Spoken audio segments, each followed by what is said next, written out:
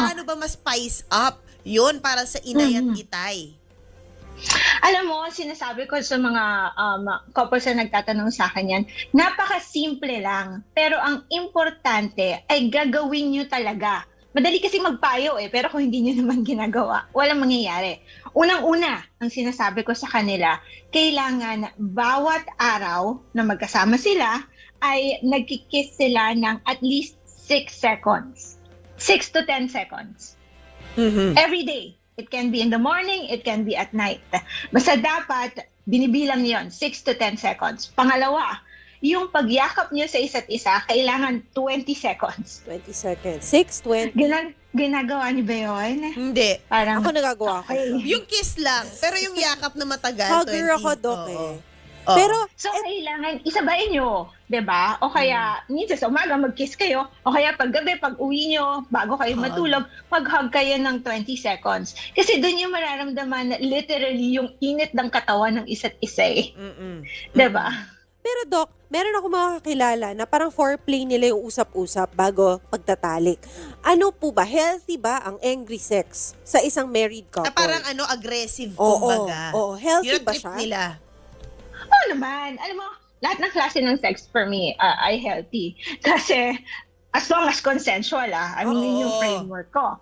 Um, uh, yung angry sex, it also helps them uh, release yung energy na hindi nila mailabas. Kasi Mm. kunyari, pag galit ka, di ba, minsan gusto mo magtapon na lang ng kung ano-anong gamit o gusto mong sumigaw. But when you're having sex, you're expressing that energy towards each other. But at the same time, you're um, parang iniiba mo siya. Parang tinatransform mo yung energy into something positive for the both of you. Mhm, mhm. Yun namang mga... Pero dapat, mm pero dapat, Naipat, no, kailangan din pag-usapan pa rin talaga kung bakit ba Baka bigla ka job bagin. Mars. May di na pwede kayo. yun. Baka bigla sipain mo pabalik, di ba? Tapos magkakapikunan. Oo. Tapos hindi na nila gusto. Oo. Eh, chika na. Dapat, at dapat ma-choreograph. Choreograph, ganito lang Ah, ah. practice muna tayo Oo. ah. Baka magkaumbagan, Dok eh. Yung galit Pwedeng bigla. ano, titira doon. pwede, pwede nyo kasing sabihin, okay, wala mo na mag-uusap ha. Nagsasex lang tayo, ilalabas lang natin dito. Pero Oo. after, mag-uusap na Oo. kayo.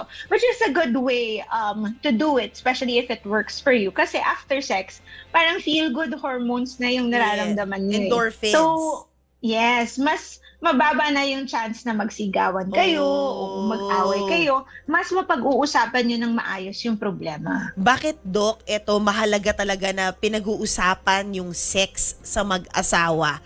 'Di ba? Kasi sometimes, ano yun, nagi, may mga couple na tabu pa rin sa kanila yung topic na yun, 'di ba? Na parang there's a, a stigma to it. Mm-mm. Madami pa rin, actually. Madami akong nakakausap na sinasabi nila na yun, hindi sila natutuwa doon sa sex uh, life nila pero hindi nila masabi sa asawa nila kasi feeling nila parang it's a parang nape-pressure Ma- pwedeng ma-pressure yung asawa nila or ma-hurt yung ego ng asawa nila. Pero napaka-importante kasi nga pag-usapan to dahil alam nyo ba ano na Pat at saka MJ, ang isa sa dalawang reasons ng paghihiwalay ng mag-asawa ay pera at sex. Sabi nyo kanina, di ba, pag-usapan natin ng sex life tapos Oo. financial life. Oo. So, yun na nga yun. Napaka- Pero ako, napaka-importante talaga.